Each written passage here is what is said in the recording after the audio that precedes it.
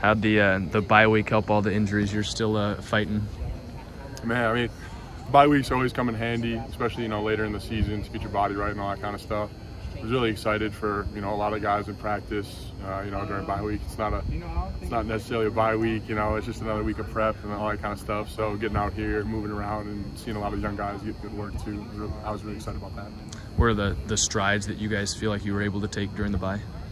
Man, I mean, I think we really focused on a lot of technique stuff, um, you know, throughout the season. Um, being able to prepare um, for um, an opponent with an extra week is always fantastic, but also, you know, getting that extra time for all that technique and fundamental stuff, especially uh, as a D lineman, it always comes in handy.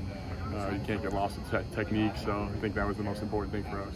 When you look back at the, the film from the Washington game, what stood out to you from the defense's performance? Yeah, I mean, always trying to you know move on and keep looking at the next game ahead of us, but you know, um, seeing some things that we did really well, and then some things that we needed to get a lot better at too. Um, specifically, um, uh, as a D line uh, room and all that kind of stuff, there's definitely some stuff that we need to clean up, a lot of the fits and all that stuff, but. Um, you know, coming into this next week, I think that's all things that we need to focus on. Um, just bringing those focuses from the last week on to the next one. How much does having a bye affect your ability to watch film, or maybe what you dive into? Yeah, I mean, kind of going back to what I said, like that extra time really comes in handy. Um, from on the field time to off the field meeting room time, really comes in handy, especially as an older guy, being able to, like you said, get in the film room and looking at the next opponent and getting that extra couple days. I think the biggest thing for us was um, in the film room, though, you know, just you know, understanding the opponent that we have coming up and really diving into um, all the specific things that they're doing. Coach Lynn mentioned you guys have to be on attack mode for the Nebraska offensive line. What stands out to you about the way that they've played in recent weeks?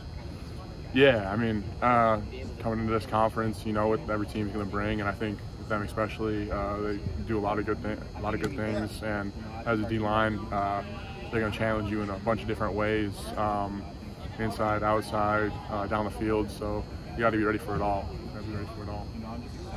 Who of some of the young guys that have stood out to you over the last two weeks? You know, without a game, probably get a little bit more of an opportunity to see them play. Who stood out? Yeah, I mean, guys like um, Elijah Hughes and Jide, um, Jide Abasiri, fantastic, uh, fantastic players um, and younger guys that have had plenty of opportunities so far and keep getting more. Uh, and I think there's a lot of good things that they are doing. Um, Elijah, for example, uh, comes out here every day with that mentality to try to get better at, you know, one or two things, and I can see it every day that he's focusing on that, and that's going to take him so far. And same thing with Jide. Um, being such a young player and understanding the game the way he does is really fantastic. You guys all kind of praised what you learned from Coach Henne preseason. I guess I'm curious what he's taught you guys throughout the course of you know working with him for in-season work and, and going to practice, and what are some of the things you've been able to pick up from him? Yeah, fo- focus on more in-season stuff. Yeah. What he teaches.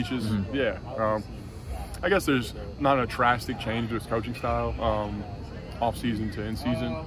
But one thing I would say in-season that I've been blessed to see is uh, he doesn't get lost in the in the like monotony. You know, um, a lot of players, you know, kind of experience, especially younger guys, experience like a lot of football uh, at the college level, um, day in and day out, compared to like the high school level.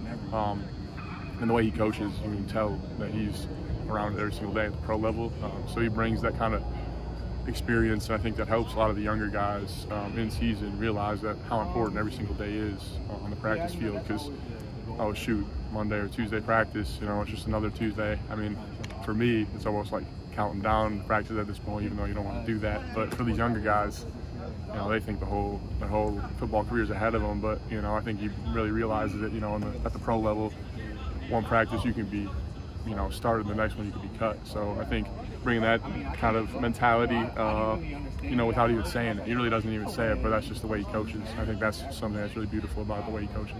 How much of the, the countdown of practices that you have left, how much does that motivate you to, to take advantage of each one? Yeah, I didn't even really want to speak on it, uh, but yeah, we are when you're towards the back end of your career, you really got to realize the opportunities that you have and, you know, try to capitalize on every single one of them. So I think that's just where I'm at now.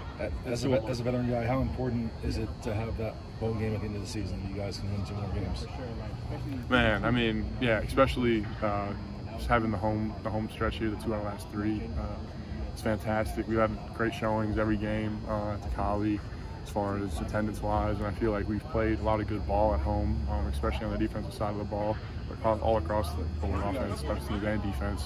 So I think you know being able to you know have those home games and have teams coming here is going to be a great opportunity for us to really capitalize on it here at the end.